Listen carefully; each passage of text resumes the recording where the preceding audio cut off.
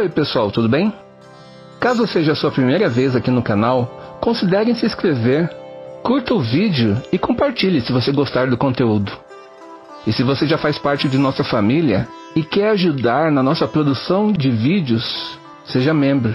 Isso contribuirá para que aumentemos nossas pesquisas e qualidade dos vídeos.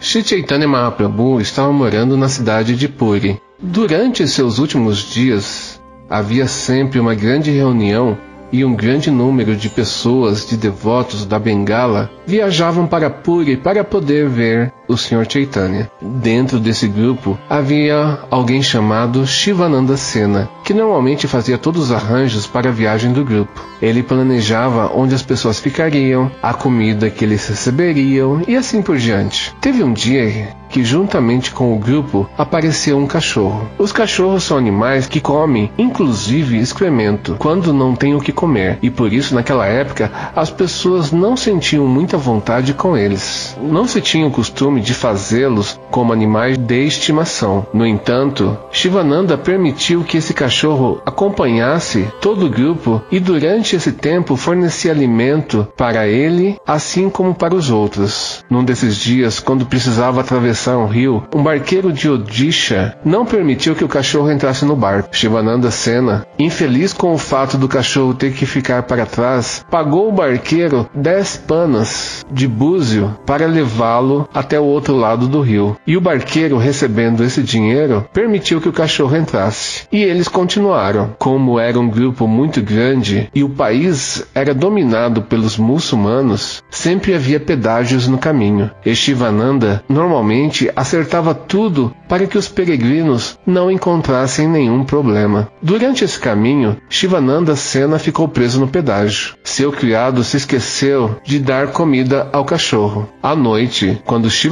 Sena voltou e estava recebendo sua refeição, ele perguntou ao servo se o cachorro havia recebido sua comida. Quando soube que o cachorro não havia comido e percebeu sua ausência, ele ficou muito infeliz. Ele então imediatamente enviou dez homens para encontrar o cachorro. Quando os homens voltaram sem sucesso, Shivananda jejuou por aquela noite. Ele considerava o cachorro como alguém do grupo. De manhã procuraram o cachorro, mas não encontraram em lado nenhum. Todos os Vaishnavas ficaram surpresos pelo cachorro ter sumido. Assim, com grande ansiedade, todos caminharam até Jagannatha Puri, onde Sr. Chaitanya encontrou todos como de costume. Na manhã seguinte, os devotos puderam ver Sr. Chaitanya quando eles chegaram até onde ele morava. E ali próximo estava sentado aquele cachorro. E o Sr. Chaitanya estava jogando restos de polpa de coco para o cachorro.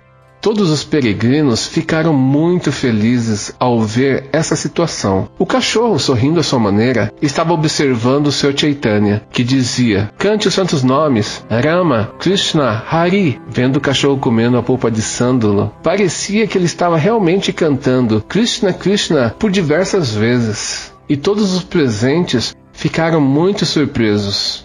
Shivananda Sena, quando viu o cachorro daquela forma, sentado, dizendo Krishna, devido à sua humildade natural, imediatamente ofereceu reverências ao cachorro, pois ele não via ele como um animal, mas como uma alma que merecia tanto respeito quanto os que ali estavam. Shivananda se considerava um ofensor, pois o seu dever era cuidar de todo mundo que fazia a viagem, e o cachorro fazia parte do grupo. Shivananda resolveu não comer e considerou que seu ato, a sua falta de cuidado com o cachorro, foi uma grande ofensa. O cachorro ficou ali a noite toda e todos foram dormir. No dia seguinte, todos começaram a procurar o cachorro, mas ninguém viu. Quando o acharam, viram que ele estava morto e juntou um grande grupo em volta do cachorro. Ao observarem aquele corpo morto, todos viram uma bela luz sair do corpo e em direção aos céus, ao mundo espiritual. Isso aconteceu com o cachorro por ele ter se associado com os peregrinos, por ele ter cantado os santos nomes e especialmente por ele ter comido o alimento que tinha sido oferecido a Krishna. Todos ficaram muito felizes ao ver esse grande passatempo do cachorro com o Sr. Chaitanya Mahaprabhu.